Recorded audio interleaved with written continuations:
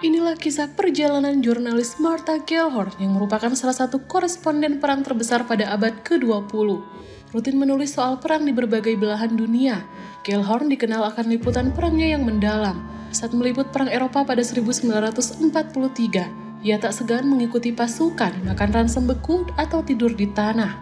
Lewat liputannya ia dapat langsung dari sumber pertama, jutaan rakyat Amerika dapat mempelajari tragedi terbesar Eropa, sebagai orang yang benci kolonialisme, Gellhorn juga pernah ke Indonesia, bersimpati pada perjuangan kemerdekaan Indonesia. Gellhorn pernah mengikuti rombongan Syahrir ke Yogyakarta, serta rapat terbuka bersama Soekarno di Surakarta. Dari Indonesia, Gellhorn pergi mengikuti perkembangan Kenya. Setelah itu ia meliput perang enam hari, perang Vietnam dan Uni Soviet.